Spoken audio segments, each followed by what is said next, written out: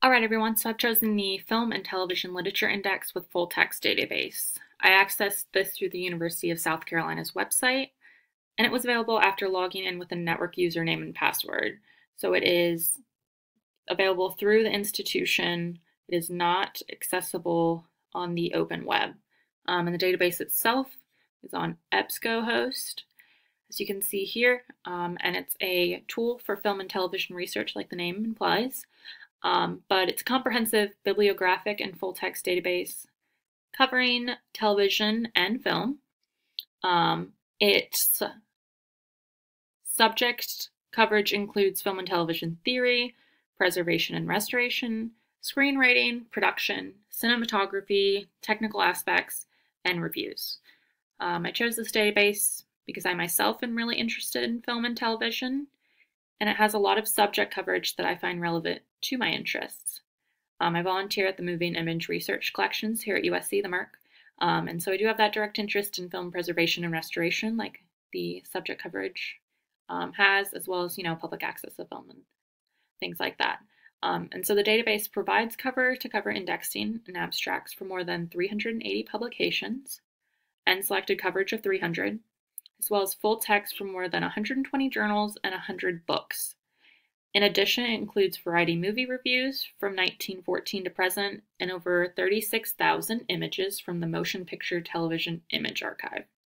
Um, so first, we're going to look at some of the basic functions of the database to really just get acquainted with what it offers in terms of searching. So we're going to start off with publication, which is up here on that top fixed menu. Um, and when you select this, you get all of the publications that are offered through the database. You can browse these to find what you're looking for, or you can use that search bar to find the exact publication that you want to use. So for example, I know the Velvet Light Trap is a peer-reviewed journal uh, or publication that I'm going to search for. Um, and when I do that, this is my results list. So we can see here the first one is what I am looking for. Um, and when you select that, you're going to get this publication details page. Um, and you can search specifically within the publication here by clicking on this, or you can look at all the issues. And as we can see here on the details page, it does go back to when it was um, first published in 1971 all the way up to present in 2018 as well as which um, issues are full text within that. So it's really great to know immediately what are you getting from this publication in this database. And it's also going to be indexed when you searched by JN for journal, Velvet Light Trap, a critical journal of film and television.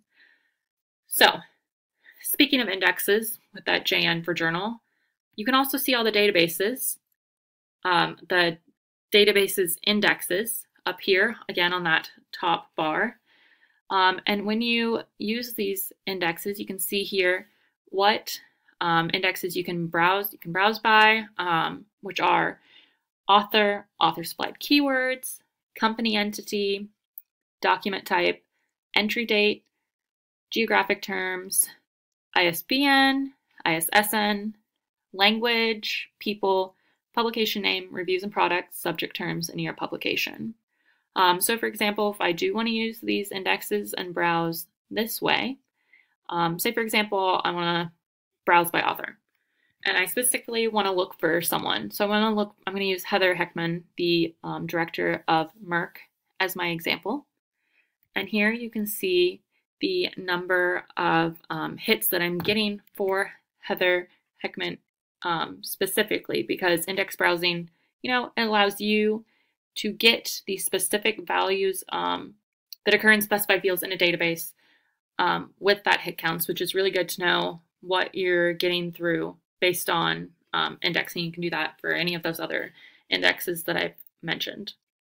So next I'm going to talk, oh, and excuse me, to jump ahead, here were my results list based on those results for Heather Heckman. As you can see, those three results, PDF full text um, there for those. So next we're going to look at the Variety movie reviews. Um, and when you select this, you get a ton of results um, that are available. Uh, so for example, you know, you can search through, browse these just like what I said with the publications, or again, you can search. So if I'm going to search for Halloween, I can see all of the franchise options that I'm getting here. I'm, I'm just going to go ahead and select this first one, Halloween here. Um, as we can see here, we're getting 61 results. Um, and when you know when I was looking through this, I found that it actually had more precision than recall in terms of results. Uh, it really became obvious to me as I was doing searches through this. I just found that the results were there was uh, to be more precise rather than a larger recall. Um, so after looking at the variety movie reviews, we're going to go over onto these images. Like I said, there's over 36,000 images um, from that archive specifically on this database that you can access this way. Um, and there are just so many fun images that you can access. Here's just some that I pulled when I was going through it myself. Um, it's just really great glimpse into something that's obviously such a visual art form. You know, we are talking here about film and television.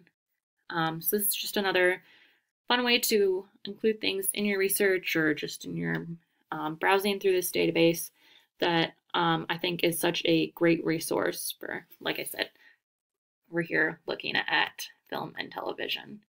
So when we're looking at the database itself and we want to put all of these things into action, um, for example, if I want to look for results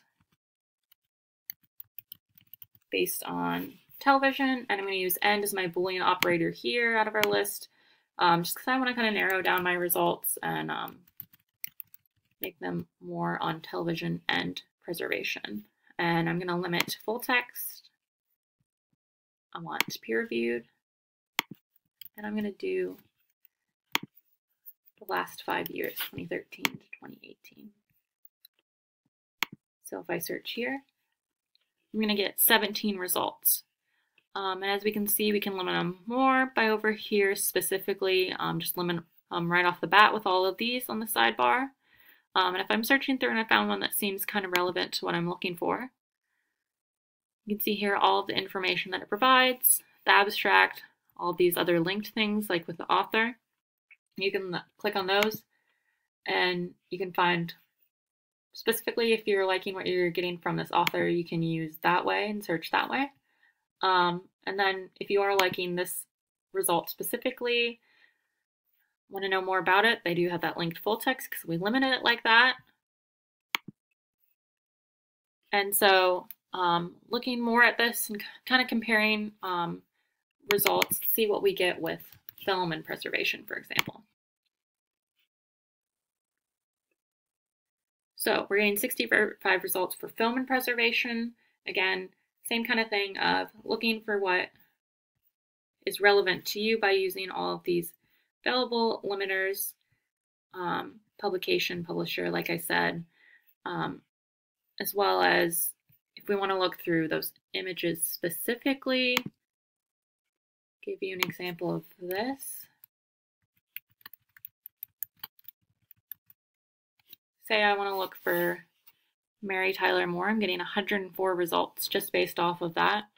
Um, so you can just click on any of these to get those images, which is how I got those, like Mary Tyler Moore and um, Betty White there. So then you can also, like I said, search through publication.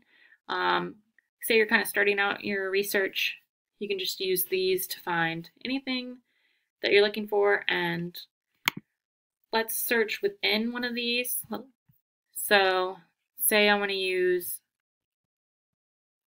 essays on nonfiction films here. Um, you can see they only have full text of this one, maybe not what you're looking for here, but there are a ton of available, like I said. Um, let's put into practice that velvet light trap.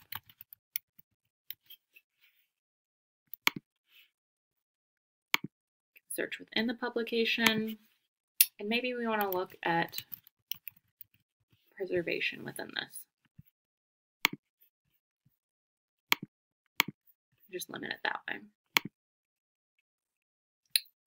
And see here we're getting results specifically, again, within the Velvet Light Trap, a critical journal of film and television.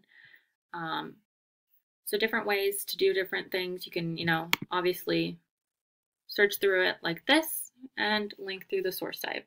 Um, if you're ever getting confused about any of these, um, of what they're limited by up here. You can always use this great help button at the top as well um, that EBSCO provides as a resource. So thank you so much for watching. Um, I really hope that provides some comfort and be able to use this in the future. Thanks.